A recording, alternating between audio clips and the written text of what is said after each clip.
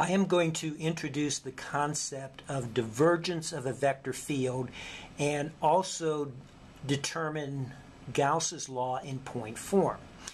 Now, in order for divergence not to be just some abstract mathematical operation, we are going to want to keep in mind Gauss's law in integral form. And this would be a good time for you to go back and review the videos Faraday and electric flux, and Gauss's law. Gauss's law in integral form is the integral of d dot ds over a closed surface is equal to the charge enclosed by that surface. So D is the electric flux density field. So the integral of D dot ds over this closed surface tells us how much electric flux is coming out of the surface. And since positive charge is a source of electric flux, the integral of d dot ds tells us how much charge is enclosed. Now we're going to apply Gauss's law here to a small differential volume element to determine the operation of divergence and find the point or differential form of Gauss's law. Here we have a small cube of sides delta x, delta y, and delta z. So the volume of this cube, delta v, is delta x, delta y, delta z. Okay, so now we're going to apply Gauss's law to this small cube. So the integral of d dot ds over the surface of the cube, so the surface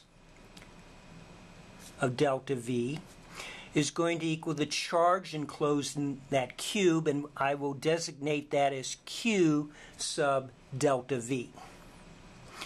Okay, so now the next step is we're going to divide, divide both sides of this equation by delta V, and then take the limit as delta V goes to zero.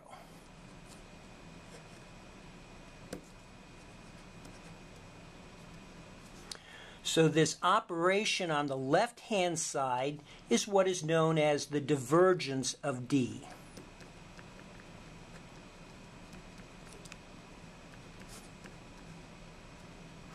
And this is also written as del dot D. And in part two, I will explain this nomenclature of what del dot D represents. Now looking on the right-hand side of this equation, we have a charge over a volume, coulombs per meter cube. So as the limit of delta V goes to zero, this is just the charge density at a point. That's just our volume charge density, rho sub V. Okay, so the divergence of D is equal to the charge density. So the divergence of D equaling the volume charge density is the point or differential form of Gauss's law. And now we have a physical feeling for what this operation of divergence is doing. If we have this electric flux density field, we see that in this region, we have a source of electric flux, so there must be positive charge in this region. And in this region, we have a sink of electric flux, so there must be negative charge in this region. So let's think of the divergence of this field at various points. So let's say we want to look at the divergence at some point here. Okay, so the way to think of that is go back to thinking about this small differential volume around that point. And remember that the divergence is the integral of d dot ds over that surface of that small volume divided by the volume and the limit as the volume goes to zero. Okay, so the denominator here is always going to be positive even though it's getting smaller and smaller. And if we look at the numerator, the integral of d dot ds tells us how much flux is leaving this volume, but whatever flux enters also is leaving, so the integral of d dot ds around this surface is going to be zero. So at that point, the divergence is zero, which is telling us there's no charge density at that point. Okay, so let's look at a point here. Okay, again, think of a small volume around that point. And you're going to integrate d dot ds around that small volume, divide by the volume, and take the limit as delta v goes to zero. Well, everywhere on the surface here, flux is leaving the volume, so the integral of d dot ds around that volume is going to be positive. So the divergence at that point is going to be greater than zero. So the charge density is greater than zero at that point. So the positive divergence tells us there's positive charge at that point.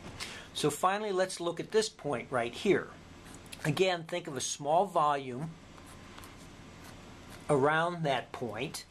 The integral of d dot ds on the surface of this small volume is going to be negative because all the flux everywhere enters the volume, so the integral of d dot ds is going to be negative around the surface.